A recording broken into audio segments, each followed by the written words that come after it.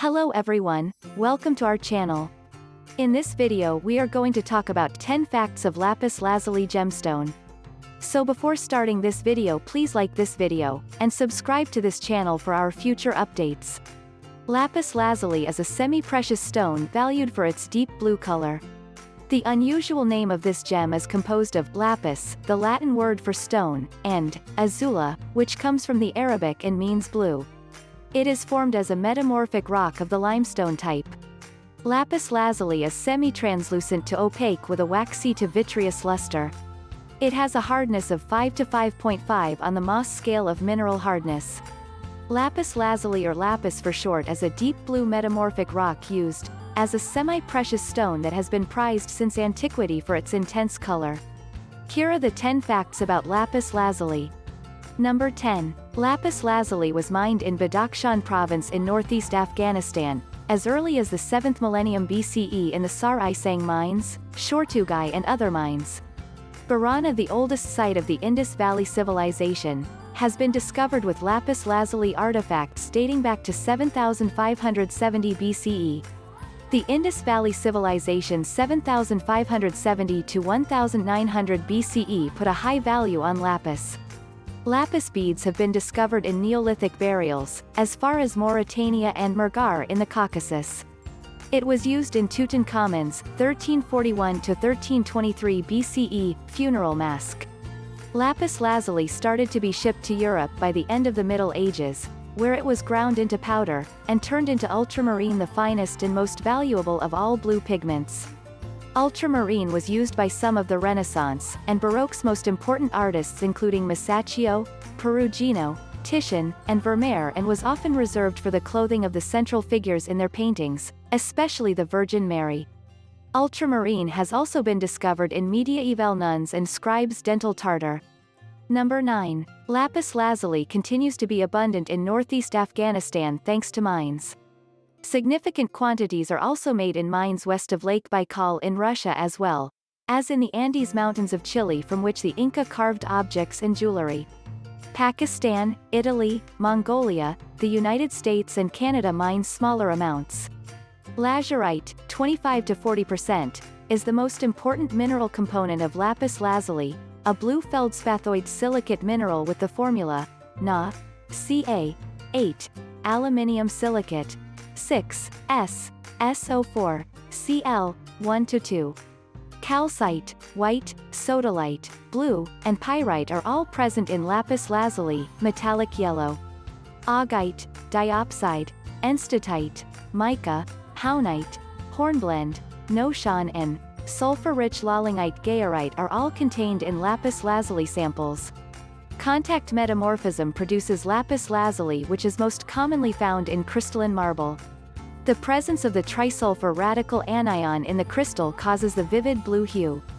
A very intense absorption line at max 617 nanometers results from an electronic excitation of one electron from the highest doubly filled molecular orbital, number 24, into the lowest singly occupied orbital, number 25.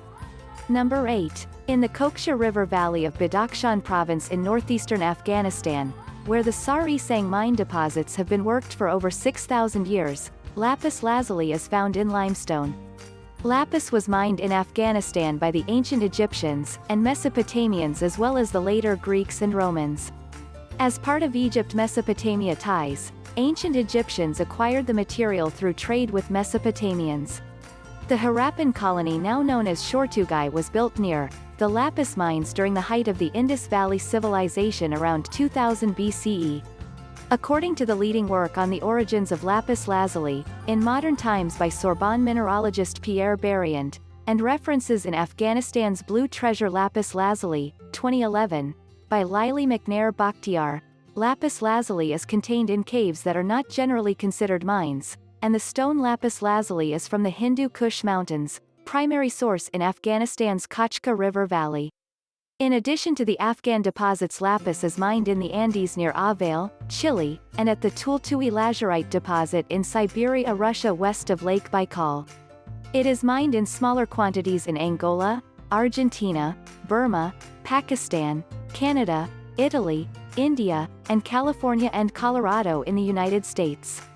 Number 7. Lapis can be used to make jewelry, carvings, frames, mosaics, ornaments, small sculptures and vases and it polishes beautifully. Lapis may also be used to construct interior objects and finish structures. Lapis is used in the design of two of the columns, that frame the iconostasis in St. Isaac's Cathedral in St. Petersburg. Lapis was ground and processed during the Renaissance to produce the pigment ultramarine, which was used in frescoes and oil paintings. When a chemically similar synthetic variety became available in the early 19th century, it was largely phased out as an oil paint pigment. The Gilson process which is also used to render artificial ultramarine, and hydrous zinc phosphates is used to commercially synthesize or simulate lapis lazuli. Spinel or sodalite as well as dyed jasper or howlite may be used in its place. Number 6. Since the Neolithic period when the ancient trade route, between Afghanistan and the Indus Valley was created, lapis lazuli has been mined in Afghanistan and exported to the Mediterranean world and South Asia. These beads have also been discovered in large quantities in 4th millennium BCE settlements in northern Mesopotamia, as well as at the Bronze Age site of Shahr-e Sukhteh in southeast Iran, 3rd millennium BCE. The royal tombs of the Sumerian city-state of Ur from the 3rd millennium BCE held a dagger with a lapis handle, a bowl inlaid with lapis, amulets, beads and inlays depicting eyebrows and beards.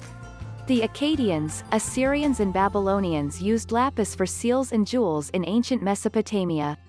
It is mentioned many times in the Epic of Gilgamesh, 17th-18th century BCE, one of the oldest known works of literature in Mesopotamia.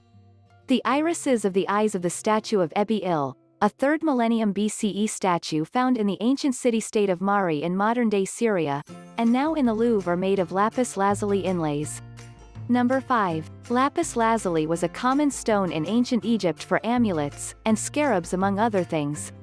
Excavations at the pre-dynastic Egyptian site of Naqada, 3300-3100 BCE, uncovered lapis jewelry. Thutmose III's, 1479-1429 BCE, relief carvings at Karnak depict lapis lazuli fragments, and barrel-shaped items being given to him as tribute, Cleopatra used powdered lapis as eyeshadow. Lapis lazuli jewelry has also been discovered at Mycenae, indicating links between the Mycenaeans and Egypt's and the East's founded civilizations. Pliny the Elder described lapis lazuli as opaque and sprinkled with gold specks. The stone was symbolic of achievement in the old Jewish tradition, because it combined the blue of the heavens with the golden shimmer of the sun. Lapis lazuli was believed to be the stone of Virgin Mary in early Christian culture. Number 4. After it is cut and before it is sold as finished gemstones, sculptures or ornaments, lapis lazuli is often handled. Since lapis lazuli is slightly porous it may take and retain dye. A blue dye has been used to remove the visibility of white calcite in a lot of the products, that makes it to the market. The dyed calcite is then sealed with wax or oil, which increases the luster of polished surfaces and seals the dyed calcite. Lapis lazuli was known as sapphire sapphirus in Latin sapphire in Hebrew in late antiquity, and the Middle Ages, though it had little to do with the blue corundum variety sapphire we know today. The Greek scientist Theophrastus identified the sapphirus which is speckled, with gold in his book on stones a description that fits lapis lazuli. Number 3. There are many references to sapphires in the Old Testament but most scholars believe that they are most likely references to lapis lazuli, since sapphire was not recognized before the Roman Empire. And they saw the God of Israel and there was under his feet, as it were a paved work of sapphire stone says Exodus chapter 24 verse 10, KJV. The word lapidus sapphire which is the Latin term for lapis lazuli, is used in this citation in the Latin Vulgate Bible. In most cases modern Bible translations such, as the New Living Translation second edition refer to lapis lazuli rather than sapphire. Number 2. Artists and chemists started producing synthetic blue pigments, as alternatives to ultramarine blue made from lapis lazuli in the mid-1800s. The term ultramarine is also applied to some of these pigments. An artist finding ultramarine pigment made from lapis lazuli today must ensure, that the pigment is authentic lapis lazuli and not synthetic. The benefits of synthetic ultramarine pigments are numerous. Their blue color is generally darker and more consistent than standard ultramarine and they are also substantially less costly. The use of ultramarine and other expensive pigments was considered by a few master painters to be an important part of making paintings with the best color.